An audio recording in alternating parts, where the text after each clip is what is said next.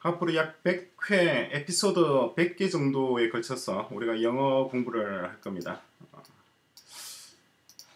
영어를 갑자기 인공지능 수업인데 우리 코스가 영어를 왜 할까라고 생각할 수가 있는데 기존의 영어 수업도 있고 한데 굳이 별도로 저희가 영어 과정을 만든 이유가 어, 기존의 영어랑 많이 다르기 때문입니다. 첫 번째, 어, 저희가 제가 지금 강의하는 영어 수업은 영어 수업 AI죠. 인공지능 측면에서 영어 수업은 어, 같지 않습니다. 많이 다릅니다. 그리고 종래의 영어 수업과 다르다는 거죠. 영어 수업과 다르다. 구체적으로 뭐가 다르냐면은 일단 문법 체제가 완전히 다릅니다. 어, 다른데 기존의 문법 체제에 비해서 문법의 양이 거의 뭐 10분의 1에 불과합니다.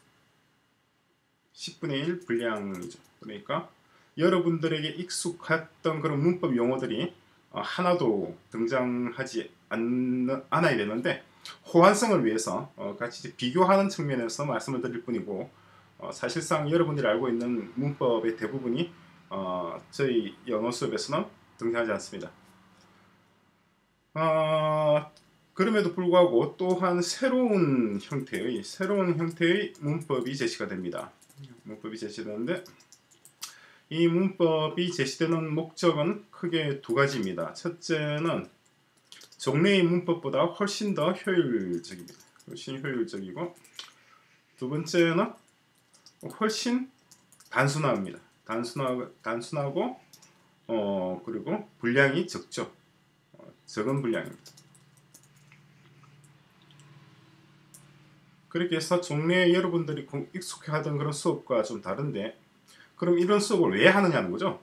왜 영어 수업을 하느냐는 건데 첫째 일단 중요한 게 왜 영어 AI 영어 AI 영어를 하느냐 하는 건데 그 이유는 첫째는 일단 영어를 알아야죠. 영어를 모르면은 아무것도 안 됩니다.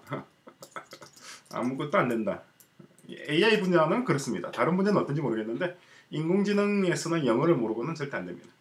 모든 기술과 논문과 뭐 강의와 이런 것들이 다 영어를 기반으로 구성이 되고 진행되고 있고 어, 다른 사람들은 영어를 몰라도 돼요. 왜냐하면 우리가 자동 통역기를 만들어 줄 거거든요. 자동 번역기, Google Translate 같은 걸 업그레이드 시켜 줄 거란 말이에요. 그러니까 다른 사람들은 영어를 하지 않더라도 어, 다른 분야에 있는 속한 AI 외의 분야에 있는 사람들은 영어 없이도 어쩌면은 생활하기가 훨씬 더 편해질 겁니다 앞으로. 그런데 AI를 하는 사람들, Google Translate와 같은 번역기를 만드는 사람들은 영어를 해야 됩니다. 그것이 첫 번째고. 두 번째는 바로 자연어 처리 기술 때문입니다. Natural Language Processing이라고 얘기를 하는데 이 자연어 처리 기술은 인공지능의 가장 기본이 됩니다. 이제 우리가 자율주행과 같은 메커니즘과 어, natural language processing이 서로 서로 다르다고 오해를 하고 있는데 다르지 않습니다. 이것과 어, autonomous 뭐 driving하고 다르지가 않고 굉장히 유사한 알고리즘을 동시에 같이 이용을 하고 있습니다. 그러니까 이 인공지능의 핵심적인 개념을 이해를 하기 위해서는 natural language processing에 대한 개념을 잡아야 되고 natural language processing 자연어를 처리하기 위해서는 언어를 이해를 해야 됩니다. 언어를 이해를 하기 위해서는 기존에 여러분들이 알고 있던 영어 문법이나 영어 수업으로는 별로 도움이 되지 않습니다. 그래서 별도의 문법 체계가 필요한 거죠. 전혀 새로운 새로운 문법 구조가 등장을 하게 됩니다. 근데 다행스러운 것은 말씀드렸습니다만 새로운 문법 구조가 기존의 문법 체제보다 훨씬 효율적이고 훨씬 단순하고 훨씬 적은, 적은 분량입니다. 그래서 어, 공부하기가 훨씬 더 편하죠. 왜냐 10분의 1 분량에 불과하니까 문법 체제가. 그런데 아마 여러분들은 좀 어렵게 느껴질 거예요. 왜냐니까 여러분들이 지금까지 공부해오던 것과 여러분들이 익숙한 것과 너무 다르니까 너무 다르니까 거기서 오는 좀 혼란이 있을 수가 있습니다. 어, 그래도 여러분들이 이제 AI 엔지니어로서 성장하기 위해서는 어, 이 새로운 문법 구조, 새로운 시스템에 익숙해져야 됩니다. 이게 왜 필요하냐니까 나중에 다시 또 재차 언급하겠습니다만은 어, 이걸 하는 이유가 AI 엔지니어가 된다는 것은 어떤 세상을 세계를 조작하는 방법을 배우는 거예요. Control the world. 세상을 어떤 조작한다는 게 어떤 의미인가? 뭐 세계를 뭐 사람들을 현혹한다는 이런 말이 아니라 자연 법칙을 이용해서 우리가 원하는 바를 지적으로 해결할 수 있는 머신을 만드는 것이 AI 엔지니어입니다. 그러기 위해서는 우리가 먼저 세계를 이해를 해야 됩니다. 세계를 이해하지 않고는 어떻게 우리가 어, 세계에서 세상 속에서 어떤 지적인 능력을 발휘하는 그러한 소프트웨어와 하드웨어를 구성할 수 없죠. 세계를 이해하기 위한 가장 기본적인 접근 방식이 바로 언어를 이해하는 거죠. 그것이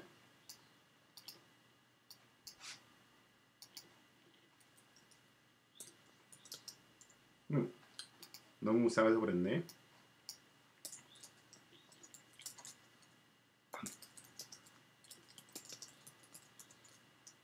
특히 스트럭처를 이해해야 됩니다.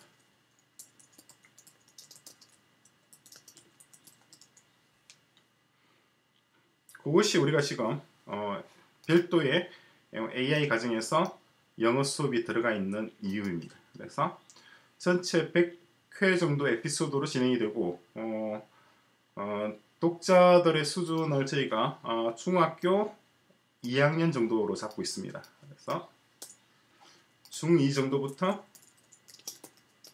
공부할 수 있게끔 음, 구성을 했고 점점 점점 난이도를 올려서 대학까지 포괄하게 될 겁니다. 그래서 대학 수준까지 어, 진행을 할 텐데 그러면은 분량은 어떻게 되느냐 하는데 첫 번째로 우리가 수업할 분량은